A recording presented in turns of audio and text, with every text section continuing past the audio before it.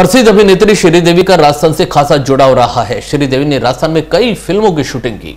अपनी फ़िल्मों की शूटिंग और प्रमोशन के लिए वे कई बार जयपुर, उदयपुर और राजसमंद सहित अन्य स्थानों पर पहुँची थी। श्रीदेवी आखिरी बार करीब तीन साल पहले अजमेर में महान सूफी संत हज़रत ख्वाजा मोइनुद्दीन हसन चिश्ती की दरगाह में जियारत के लिए आई थी। उन दिनों श्रीदेवी की माँ बीमार थी और लंदन में उनका उपचार चल रहा था। उनके स्वास्थ्य लाभ की कामना के लिए ही श्रीदेवी ने गरीब नवाज़ की दरगाह में मत्था टेका था।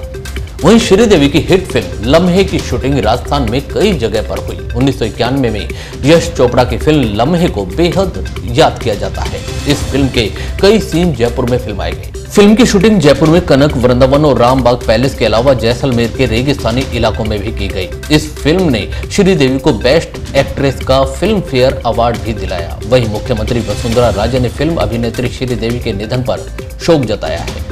सीएम राजे ने कहा कि श्रीदेवी ने अपने जीवंत और भावपूर्ण अभिनय से भारतीय सिनेमा को नई ऊंचाइयाँ दी। उनके निधन से हमने एक सशक्त महिला कलाकार को खो दिया है। कुल मिलाकर सदमा, लम्हे, चांदनी और मिस्टर इंडिया सहित कई सुपरहिट फ़िल्में देने वाली श्रीदेवी भले ही पार्थिव रूप से नहीं हो, लेकिन रुपहले पर्दे पर दिखाए गए उनके जादू की चमक सदियों तक छाई रहेगी।